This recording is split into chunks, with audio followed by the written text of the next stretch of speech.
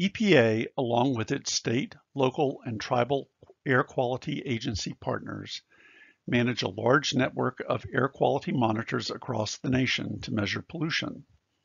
The goal is to identify and fix air quality problems to help ensure that all Americans have clean air to breathe.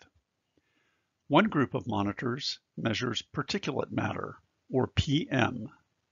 PM is the term used for a mixture of solid particles and liquid droplets found in the air. Some particles, such as dust, dirt, soot, or smoke, are, are large or dark enough to be seen with the naked eye. Others are so small that they can only be detected using a specialized microscope. Particles come in many sizes and shapes and can be made up of many different chemicals. Some particles are emitted directly from a source, such as construction sites, unpaved roads, fields, smokestacks, or fires. Most particles form in the air as a result of complex reactions of emitted pollutants from many different types of sources, such as power plants, industries, and automobiles. As you can see, PM is a complicated pollutant, and our understanding is limited in that most PM monitors around the country only measure how much PM is present in the air, not what the PM is actually made of. To help scientists better understand PM, an additional group of specialized air monitors, shown here, are in place around the country to help us understand not only how much PM is present, but what chemicals are in the PM. This group of specialized monitors is called the Chemical Speciation Network because these monitors help us understand the various types or species of materials that make up the PM in any given location.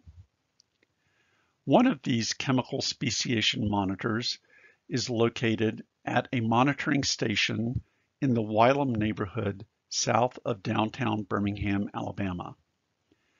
This particular chemical speciation monitor measures the different types of metals that may be in the PM in the local air. When reviewing the results of the samples collected around the country from PM chemical speciation monitors, EPA scientists noticed that the amount of one of several metals measured, chromium, was often higher in the samples collected at the Wylam monitor than at other air monitors across the country.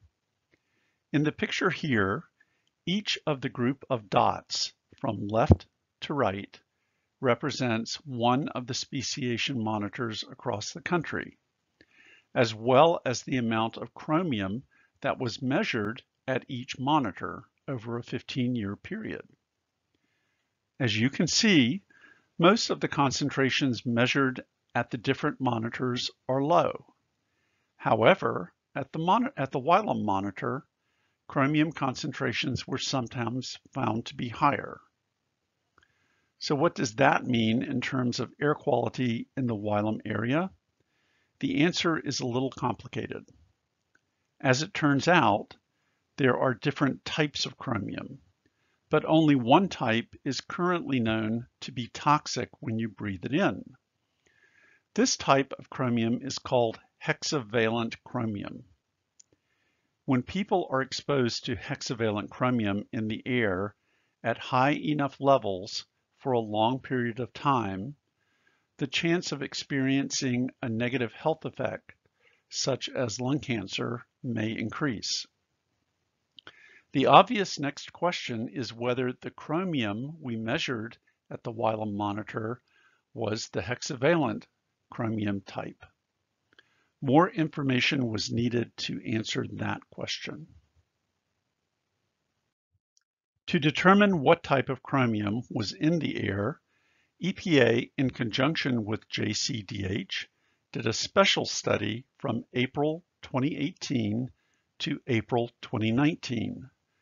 In that study, special samplers were placed at the Wylam monitoring site to specifically measure for hexavalent chromium and other metals.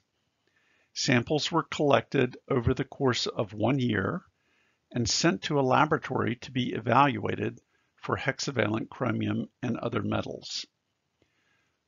What we found is that hexavalent chromium was present in most of the samples.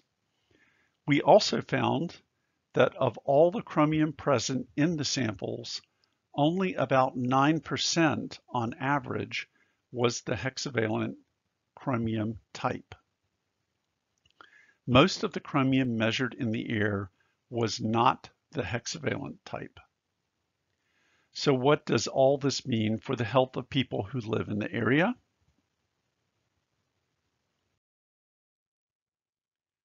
The Clean Air Act is the nation's law that we follow to protect human health and the environment from air pollution.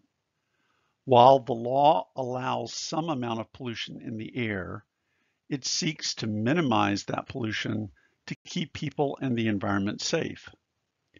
For some chemicals, like those found in smog, the law sets specific limits for the pollutants.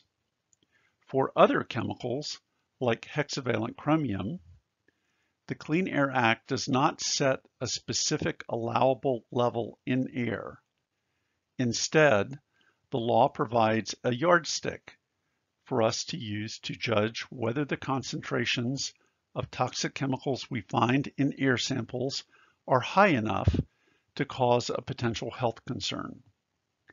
For example, when a chemical that can cause cancer is in the air that we breathe, like the hexavalent chromium found in Wylam, we use the results of the air quality samples we collected to estimate the likelihood that someone may develop cancer over their lifetime. In preparing this estimate, we assume that people are continuously exposed to the chemical in outdoor air all day, every day, for their entire lives, and we assume that to be 70 or more years.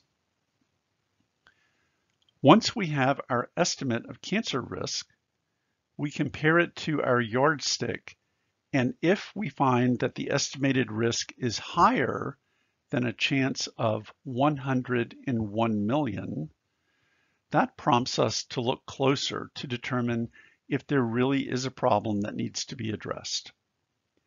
100 in 1 million means that in a population of 1 million people who are exposed to a chemical at a constant and continuous level over their entire lifetime might result in up to 100 of those people developing cancer because of that lifetime exposure.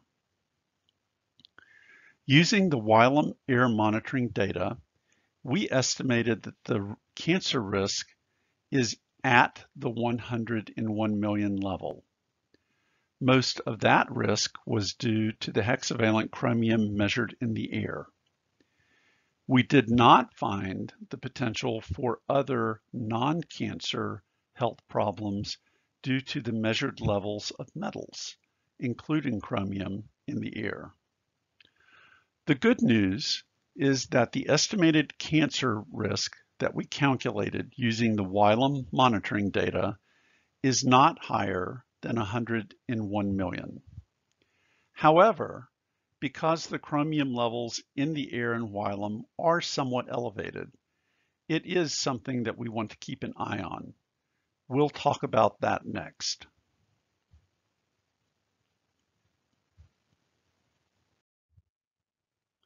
To help ensure that air quality in the Wylam neighborhood remains safe, JCDH is in the process of reinstalling the special equipment at the Wylam monitoring site to collect additional samples for hexavalent chromium and other metals. The plan is to start with collecting six months of samples to see if hexavalent chromium and other metal levels are the same or decreasing. Depending on the circumstances, additional samples may be taken. If concentrations have increased, an attempt will be made to determine the primary contributors to the measured values, and then to look for options to reduce emissions and improve air quality.